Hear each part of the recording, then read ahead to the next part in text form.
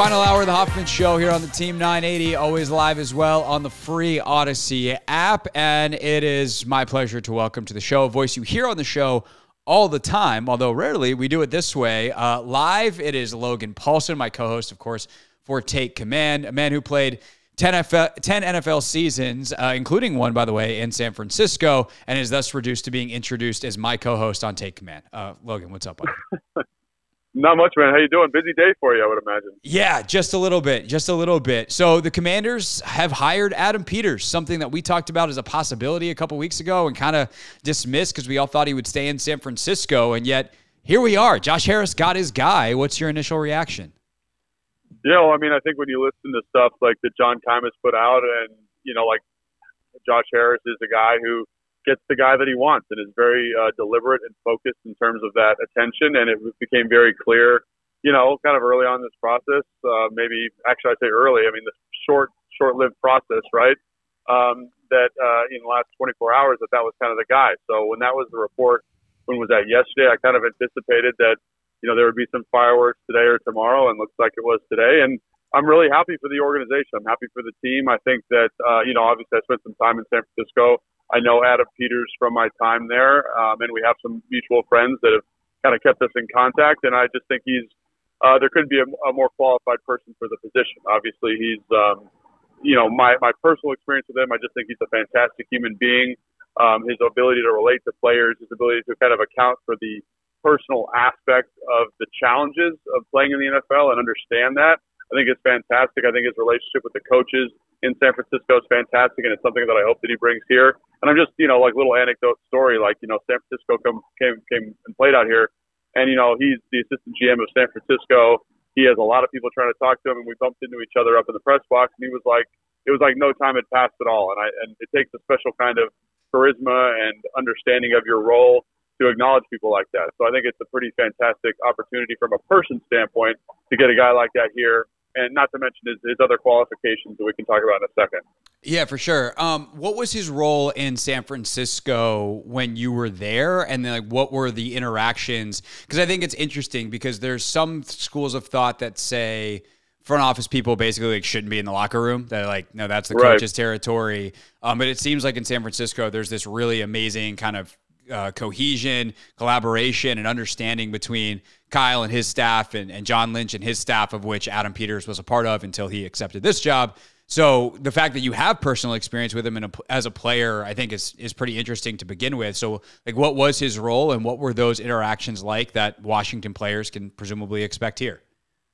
Yeah, so I think one of the things, you know, like when I first got to Washington, just as a point of juxtaposition, like the the head of player pro personnel at the time believed that the scouts and the pro personnel people shouldn't talk or try to develop personal relationships with the players, and that's not, I don't think, a bad thing. I think you know sometimes personal relationships can bias your evaluations of guys, and um, and I think you know it led to kind of a different working environment. I don't want to make it seem like Adam Peters is in the locker room every single day, but you'd see him around the building, and he would just be like, "Hey, Logan, how are you?" And the fact that he knew my name was a big deal because I think he was like assistant GM or assistant to the GM at the time, whatever his official title was. He had just come over from Denver, um, which obviously had just won a Super Bowl prior to his arrival in San Francisco with Peyton Manning, um, I think you know is is pretty special, and I think it just shows again a, a level of pro- professionalism that I'm, I harken back to how Sean McVay was when he was here in Washington. His ability to like know every single human being's name in the building, right? He knew the the the equipment guys, he knew the training staff, he knew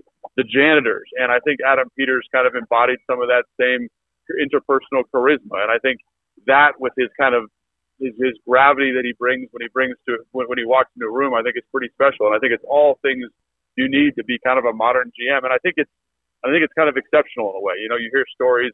Keim reported on some stories. I've heard stories tangentially through connections and context to the NFL of him just understanding how challenging it is for players. So I think I think that empathy is it doesn't stop him from being a professional, but I also think it makes a better working environment and a, and a, and a culture that respects people and respects humans as opposed to the commodities that the players sometimes are seen as. Culture. There's that word again. Uh, Logan Paulsen with us here on The Hoffman Show. Uh, of course, co host with me on Take Command, contributor here on the Team 980 and 1067 The Fan, Command Center for the Commanders YouTube page, uh, and played 10 years in the NFL. All right, so the relationship with the coaching staff is going to be critically important. Before we talk about who might be a good fit with him here, there's some obvious obvious ones, uh, at least through where I sit. Um, what was his relationship like with Kyle in terms of making sure that Kyle had the players that he needed to go out and execute on Sundays with?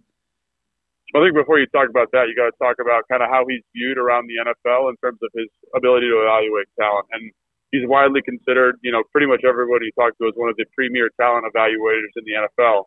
And then to kind of peel back that onion a little bit, I think to your point, Craig, one of the things he does an excellent job of, of you know, everyone's got their big board and they try to approximately fit it to what the team needs. But you know, in my experience, scouts have a hard time with that because they don't really understand the football side of it. So when you talk to scouts, you know, they're kind of like, ah, this is my number one guy, kind of regardless of scheme, right? I think Adam Peters, from what I understand and from people that I've talked to around the NFL, has a really good feel for identifying what, how to value players based on what the coach, coach wants from the player. So I think you see that, you know, to a T in San Francisco, right? They go out, they draft Deebo Samuel, they draft Brandon Aiyuk, guys that maybe other teams and other organizations wouldn't value as highly because they're not prototypical for the position. But I think Uh, Adam, to his credit, John Lynch, to his credit, and Kyle's communication with the two of them, they understand what they're looking for out of that position. They understand it doesn't need to be DK Metcalf. It doesn't need to be a Justin Jefferson. It can be a guy who's just excellent after the catch, who can get open through scheme and open through concept. And I think that's kind of what you saw there. I think you see that with how they kind of cultivated the defensive front in San Francisco. You also see it with how they kind of acquire offensive linemen. I think another thing that sticks out to me is just how aggressive, you know, and involved I've heard he was during the trade deadline for a lot of the people, for a lot of their big acquisitions. So I think that relationship, that understanding of the X's and O's and how to augment your process to best to best accommodate those X's and O's, I think is a huge testament to what he does. And when I hear that from people, you know, around the NFL, I'm just like, that is what you want to hear. And it does does it ensure success? Absolutely not, but it definitely kind of sets you up in a position where you're like, this guy understands the vision of the coach and can get that get the get the scouting staff to understand that same vision and get the best possible players in here to fit the vision uh, of the offense or the defense for that matter. Right. It's so wild to me that that's just not how everybody does it because players don't just play. Like there's no just line up and sandlot it. Like you're playing in a scheme. It's the NFL. These are the best coaches on the yeah. planet. And if you're not getting guys to fit what they want offensively or defensively, you're just you're asking to fail. And I I the fact that he's one of the best at it is great and he's coming here, but it's pretty wild to me that that's not standard operating procedure on literally 32 of 32 teams. Yeah, and I think that there is a certain amount of people trying to do that, but again, I think that speaks to his skill set. I think you're around guys. I've been around multiple front offices, and they're always trying to do that. But it is there's a certain art to, as you know, and as we've talked about through our draft content that we do every single year. There's a certain art to that ability, and I think he's got that artistry um, that kind of flushes out the kind of analytics, very detailed approach that he acquired when he was in uh, New England. So I think it's it's a guy that is very naturally talented at it, a guy that was able to cultivate a skill set in many different systems. New England um, obviously Denver and then San Francisco to kind of round out that process and allow him to find the best the best pieces uh, to fit what the coaches need. Logan Paulsen with us, of course, co-host of Take Command with me. Uh, a couple times a week, you can catch it in your podcast feeds or on 1067 The Fans YouTube page. All right, so that leads to the head coach discussion, which is now the next order of business. I can't believe we're on Friday, uh, on the Friday after Black Monday, and we're already got one down onto the head coach thing. This one's going to take a little bit longer because of how the structure of the interviews goes. But with Adam Peters here, um, does it change kind of your list at all, or who you think the top candidates could or should be? Um, no, not really. You know, I kind of go off my personal biases, and I think that for me, uh, you know, for me personally, and you know, based on the list that's reported, I'm an offensive guy. I really like what what Ben Johnson's been doing in Detroit. There does seem to be kind of a pre-existing personal relationship with Spielman, and I think his brother, or there's some connection there to the front office. And yeah, Chris Chris Spielman's so, the I think team president uh, there in Detroit with the Lions. So there's definitely going to be right. some connection there. And I don't think it's a coincidence that Bob Myers, you know, had a connection with Adam Peters. I think those are those are two kind of very telling, uh, you know, personnel decisions by Josh Harris in terms of that group. And so I would kind of lean in that direction. Again, I don't know. That may be my own biases are clouding my judgment. I think all the coaching candidates, as we've talked about on our show, are very, very qualified. I'd be excited to have any, every single one of them. But again, I like offensive football. I think there's, um, you know, a precedent for that, that offensive coaches tend to have, you know, quicker, um, success. I, I like that he's worked with a quarterback that was struggling in LA and then kind of revitalized his, revitalized his career because obviously I think it's not insignificant that you're going to be picking a quarterback probably with the second overall pick. Obviously, you could trade back. There's a million things you could do, but if you do pick a quarterback, you want somebody who understands how to maximize that position and and elevate that position in a way that um, you know I think we were kind of hoping EB would do for Sam Howell. So I think that's kind of the hope there for me is when I see a a talented offensive coordinator uh, on the market available. I think I look at the the kind of recent history. Kyle, Sean, um, you know, the offensive coordinator in, I'm forgetting his name, in Minnesota at the moment, Mike Kevin, McDaniels, yeah. all those different guys, Kevin, yeah, Kevin O'Connell. Like that to me is kind of the direction that head coaching hire should go. It allows you to keep your offensive identity through through um, position coaching changes, through coordinator changes, through run game coordinator changes, which I think is incredibly important. So that's the one that uh, that kind of calls to my attention and gets me really excited. But again, I think all those coaches have excellent pedigree and, and would do an excellent job given the opportunity. No doubt. And as uh, as Nick Wagner pointed out earlier on our show, uh, Nick covered uh, Bobby Slowik in San Francisco, where who obviously worked with Adam as well. So he becomes to me a, a, really interesting one. And either way, those guys are running similar systems here. Um, and Nick used a phrase that I liked when talking about Ben Johnson in terms of kind of the approach that like they're cut. He's not from the Shanahan tree, but he's cut from the same cloth if you were kind of to describe that philosophy and and what kind of players you need and kind of what Adam Peters is looking for, like how do Ben Johnson, Bobby Slowik work with Adam Peters to build a football team that fits the mold of what's winning in the NFL right now? Yeah, so I think, you know, to answer the first part of your question with Ben Johnson, I think when you watch Detroit's film, there's times where, uh, quite honestly, I'm watching, I'm like, I can't believe that this guy didn't work directly with Kyle or with Sean because it, it, it the offense is so so similar. Obviously, there's a little bit more gap scheme. Obviously, there's a little bit more downhill element to it. But the the principles, the, the foundation, the foundational pieces of Kyle's offense are there. And what I mean by that is the strong commitment to running the football. The the the play action pass mirrors and is closely tied with that. They understand how to manipulate defenses to maximize concepts each and every week based on formation. So I think that's one of the reasons why I get so excited about that. And so like, what do those offenses entail? I think going out and identifying, you know, offensive linemen that can fit that offensive scheme are really important. Finding the different body types for wide receiver. I think you see with Kyle, you see with Mike, um, you even see this in Minnesota to a certain extent with Kevin O'Connell, the importance of getting receivers that can stretch the field vertically to open up those horizontal passing windows.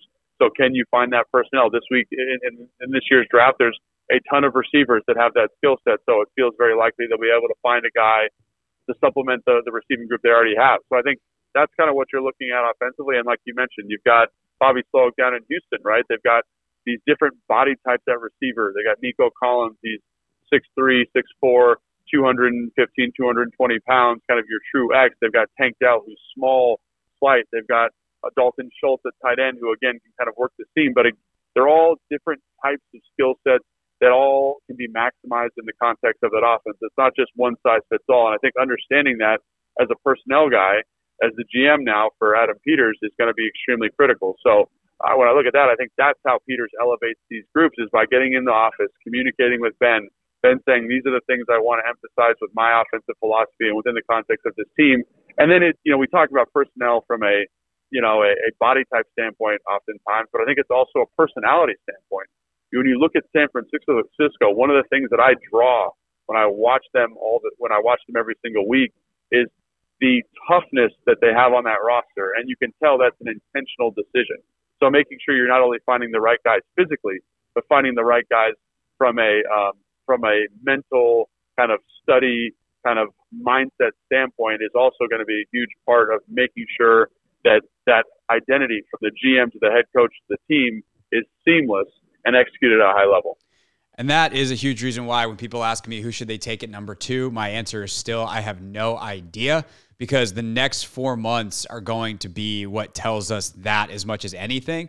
Like everyone's got the tape now. No, there's no more games to be played at the college level. That's the evaluation process, uh, the tape process, but the scouting of like who these guys are as people is going to be pretty fascinating. And and the commanders can't have a better guy, it seems, to to kind of parse through, sit down, and talk with these potential quarterbacks and figure out who they are. If because because your quarterbacks got to have that personality uh, if you're going to take them with that number two pick.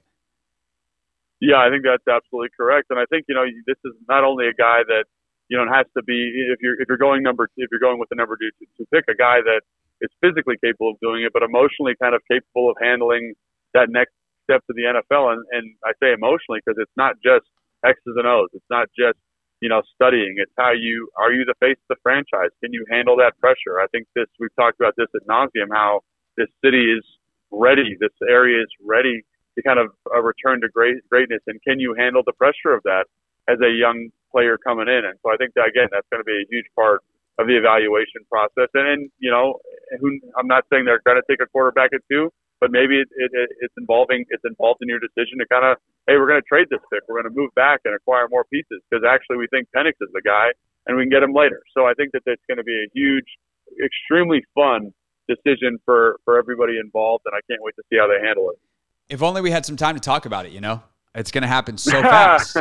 the next yeah. four months of podcasts. Uh, well, we have to, we'll do plenty of head coach scouting first. By the way, um, really, really interesting uh, exercise that Logan and I went through the other day that is available now on YouTube and, of course, in the podcast feed on Take Command. Originally, Logan, we were just going to play a segment of this on the show, but instead, we're talking to you about the breaking news here. Uh, but right. I also feel like what we did is is perfectly validated by what just happened here.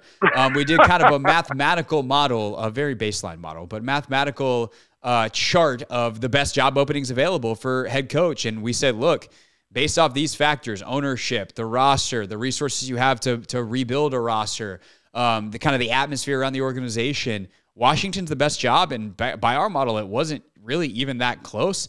And I think right. getting Adam Peters by Friday proves just how valuable this job is. Like we were right, Logan, is basically what I'm trying to say.